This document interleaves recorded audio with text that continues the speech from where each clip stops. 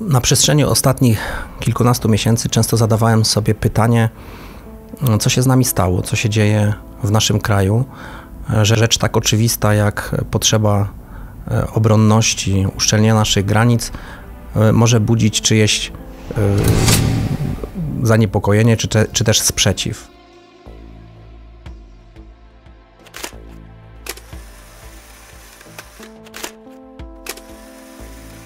To, jak traktuje się obrońców naszych granic, naszych wojskowych, naszych funkcjonariuszy Straży Granicznej, czy też policjantów, no przechodziło ludzkie pojęcie, dlatego że codziennie byliśmy bombardowani newsami, w którym dla, nie, nie boję się użyć tego stwierdzenia, politycznej chucpy robiono sobie przedstawienie, gdzie e, zamiast mm, wspierać ludzi, którzy bronią naszej granicy, e, próbowano podważyć kompetencje tych ludzi. E, na granicę jeździły całe delegacje różnych osób, które próbowały zakłócać pracę tych e, funkcjonariuszy. Zbudowało to obraz w społeczeństwie bardzo taki mm, niedobry, przedstawiając ludzi, którzy służyli de facto krajowi, jako ci, którzy działają na jego szkodę. I to jest moim zdaniem rzecz niewybaczalna. Parę lat temu takie zdarzenia nie mogłyby mieć miejsca. Jednak mundur był w Polsce zawsze święty i uważano ludzi, którzy byli w stanie poświęcić dla obronności e, kraju dużo, łącznie ze własnym życiem. Traktowano tych ludzi e, z należytym szacunkiem, nawet z pewnym rodzajem takiej, takiej estymy. Europa upomniałaby się o nas. Europa? Panie generale, Europa ma nas w dupie.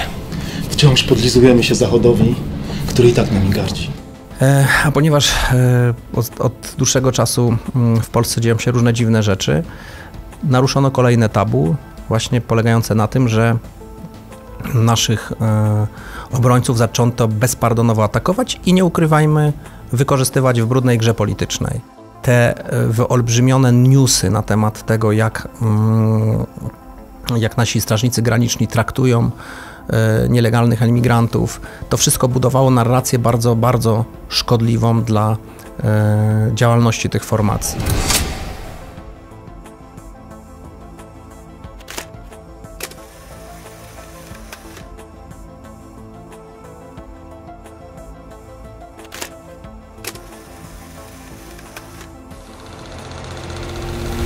Ludzie ci byli narażeni na nie tylko w trakcie służby na wielkie niebezpieczeństwo, ale również y, cierpiało na tym ich życie rodzinne, bo przecież jeżeli y, w głównych wydaniach różnych telewizji, w serwisach informacyjnych nazywano tych ludzi mordercami i robili to ludzie, których próbowano się przedstawiać jako autorytety. Dzisiaj wiemy, że żadnymi autorytetami nie są, ale wtedy byli tak przedstawiani. I ci ludzie mm, publicznie lżyli y, ludzi służących na granicy, no to doszliśmy do takiego punktu, w którym należy, należało sobie zadać pytanie, co tu się dzieje, o co w tym wszystkim chodzi.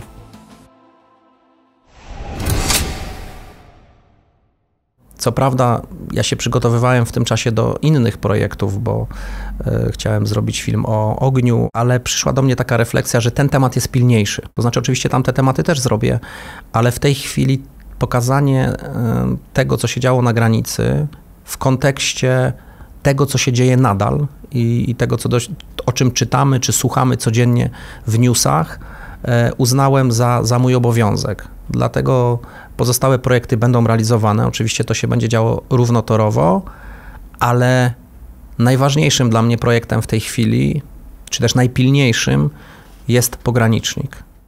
Chcę opowiedzieć o ciężkiej służbie naszych funkcjonariuszy Straży Granicznej, naszych wojskowych, naszych policjantów, którzy z narażeniem życia chronili naszej wschodniej granicy. Chronili i chronią. Właśnie dlatego zrobimy pogranicznika. To jest nasz obowiązek, bo nie może tak dalej być, że będziemy pozwalali różnym środowiskom na tego typu zachowania.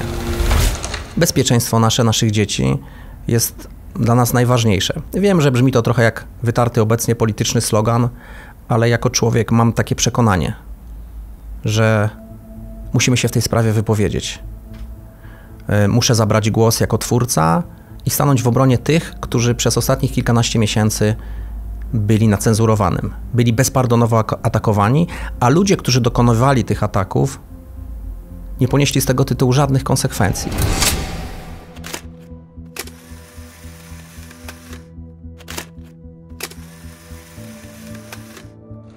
I tak sobie myślę, że te konsekwencje będą miały wymiar bardzo długofalowy. Właściwie już mają. Bo przecież dzisiaj młodzi ludzie, którzy przez ostatnich kilkanaście miesięcy byli karmieni tego typu przekazem, w którym szkalowano wod, ośmieszano wojsko, występuje w nich naturalny odruch, czy też owczy pęd do przynależności takiej grupy, która atakuje tych ludzi. Na przykład takie hasło zdejmij mundur, przeproś matkę, no jest to kwintesencja tego sposobu myślenia. Kwintesencja tego, co napędza tych ludzi. Nienawiść do kraju, nienawiść do jego struktur, do jego formacji, do jego obrońców. I najbardziej przerażające w tym wszystkim jest to, że tego typu poglądy znajdują naśladowców, odbiorców, którzy uważają, że tak jest w porządku, że możemy ludzi służących na granicy nazywać bandytami, mordercami. W jakim innym kraju jest możliwa taka sytuacja? Jakie wzorce będą mieli młodzi ludzie, słuchając takich rzeczy? Słynna sytuacja, kiedy grupa rozwydrzonej młodzieży zaatakowała patrol, wyzywając jego członków, e, lżąc ich, jest tego najbardziej jaskrawym przykładem. Filmy, programy telewizyjne, newsy w wiadomościach, które cały czas szkalowały tych ludzi, niestety zrobiły swoje. I nie ma na to do tej pory żadnej odpowiedzi. Mam wrażenie, że to jest watacha, watacha psów, która osaczyła biednych, słabych ludzi. No tak nie postępują żołnierze, śmiecie po, po, po prostu.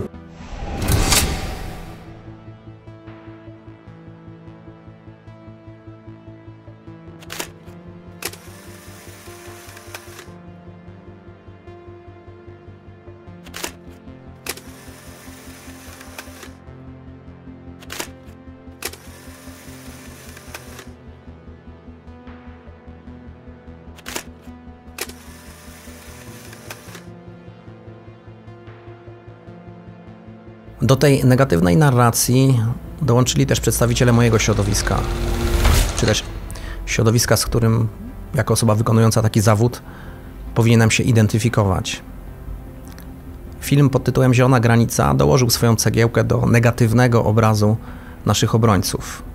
Kadry, w których z członków Straży Granicznej pokazywano niemalże jak SS-manów w Oświęcimiu, były dla, według mnie podłością. Co wynosili z kina młodzi ludzie, którzy oglądali taki film? Że na granicy służą bandyci? Że na polskim mundurze jest krew?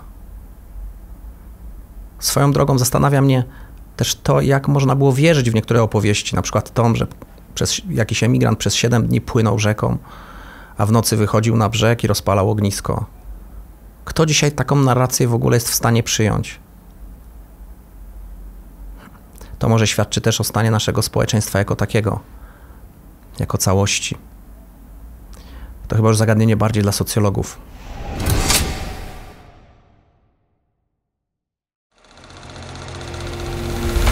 Zadawałem sobie w tym wszystkim pytanie, co ja jako reżyser mogę zrobić. No, mogę zrobić to, że odpowiem na film Zielona Granica swoim filmem.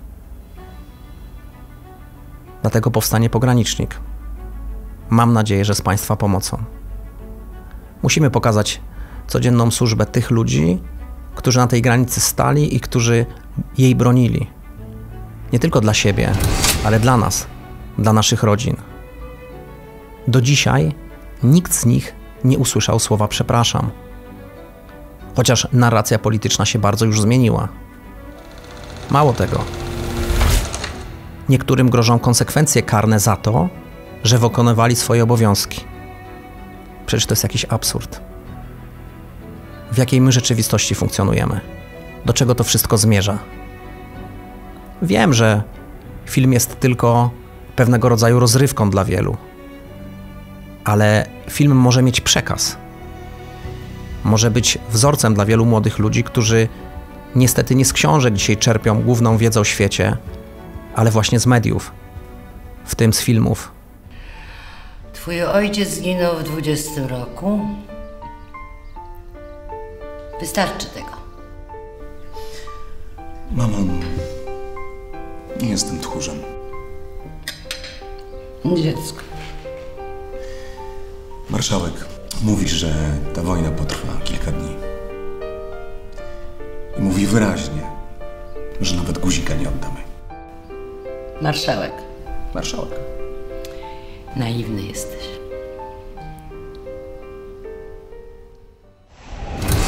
Konrad Łęcki zazwyczaj zajmował się kinem historycznym. Tym razem jest przekonany, że najnowsza produkcja musi dotknąć tematyki czasów nam współczesnych. Postanowiłem opowiedzieć prawdziwą historię o ludziach służących na polskiej granicy. Rozmawiałem z wieloma z nich. Mam bardzo ciekawe relacje, które ubrałem w scenariusz. Będzie to oczywiście film kinowy, w którym w miarę naszych możliwości postaramy się jak najszerzej, jak najbardziej epicko opowiedzieć tą historię. Myślę, że ci wszyscy ludzie, o których powiedziałem wcześniej, zasługują na taką opowieść.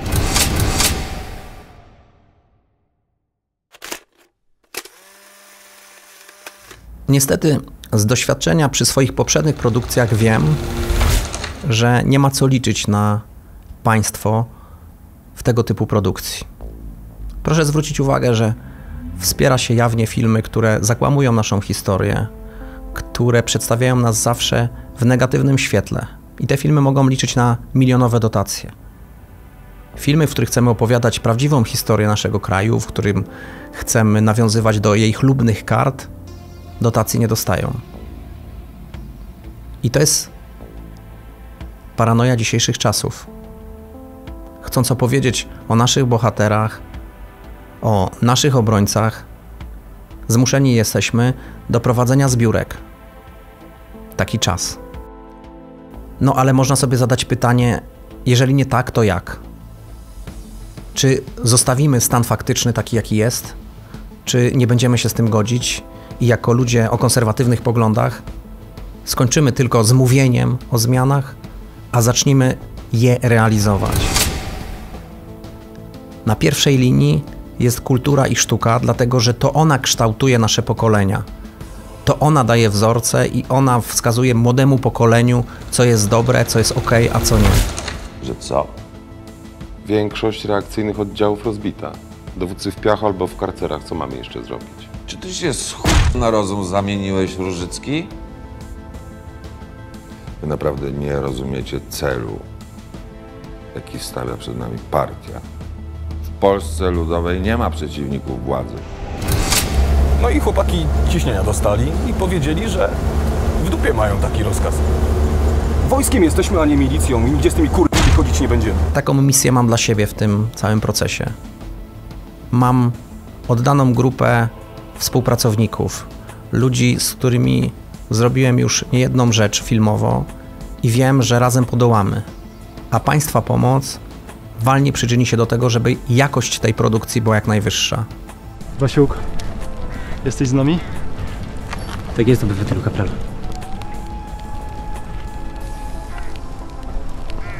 A wiesz co ja myślę, towarzyszu? Że ja i moi koledzy mamy przy sobie 300 naboi. Oni wyprują swoje do twoich kolesi, a ja prosto w twój milicyjny czerep.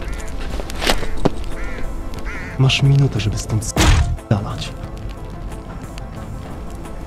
Starszy szeregowy Nowicki, starszy szeregowy Wasiuk, odbezpieczyć broń. Fakt, że nie będziemy zdani na dotacje państwowe, da nam też jeszcze jeden element, jeszcze jeden atut. Będziemy mieli pełną wolność twórczą. Nikt nie nałoży nam kagańca cenzury i nie będzie próbował wpływać na to, jak ten film ma wyglądać. Dla mnie jako twórcy jest to niezwykle ważne. Niestety doświadczyłem tego typu kagańca przy mojej poprzedniej produkcji dotyczącej rzezi wołyńskiej. Nigdy więcej na coś takiego sobie nie pozwolę. Stąd mój apel i serdeczna prośba do Państwa o wspieranie mnie w tym projekcie, mnie i mojej ekipy, tak żebyśmy mogli zrobić to jak najlepiej potrafimy. Zdaję sobie sprawę z faktu, iż dzisiaj jest bardzo dużo zbiórek na różne ważne cele. Ale musimy sobie zdawać sprawę z tego, że bez Państwa pomocy takie filmy po prostu nie powstaną. Będziemy znowu chodzić do kina na filmy, w których będziemy przedstawieni jako zawsze ci źli. Ci, którzy mają przepraszać. Jako ci, którzy mają kajać się za coś, czego nie popełnili. Najbardziej boli mnie jako twórcę to, że trend taki w kinie jest dominujący obecnie w polskiej kinematografii. Niektórzy twórcy wręcz szczycą się takimi produkcjami. A widz konserwatywny nie ma dzisiaj w kinie dla siebie żadnej oferty. Mówi mu się, że idzie na kolejną produkcję o naszych bohaterach, nagłaśnia się te produkcje, a potem się okazuje, jak jesteśmy w kinie, że to jest zupełnie film nie o tym. Miała być wielka epicka historia o Monte Cassino, o Westerplatte, o obronie Grodna, a dostajemy coś kompletnie innego. Dlatego czas to zmienić. I ja chcę to zrobić. Jeżeli Państwo nam pomożecie, to film Pogranicznik będzie pierwszym z cyklu takich filmów, w których będziemy starali się odwracać tę tendencję. Pokazywać prawdę, pokazywać chlubne karty naszej historii, pokazywać naszych bohaterów.